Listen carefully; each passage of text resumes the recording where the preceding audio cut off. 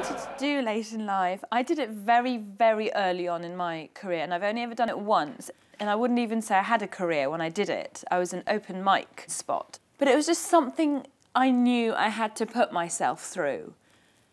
I had to do it. It could have been a lot worse, my name. I have a cousin called Poopak.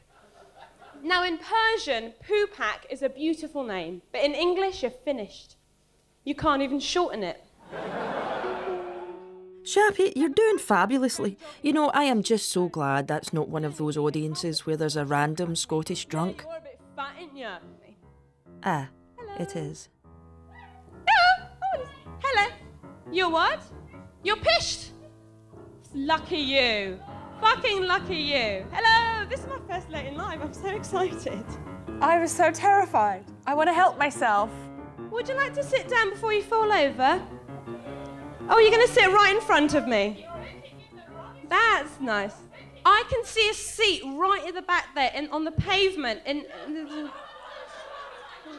there's, a, there's, there's a taxi outside with your name on it.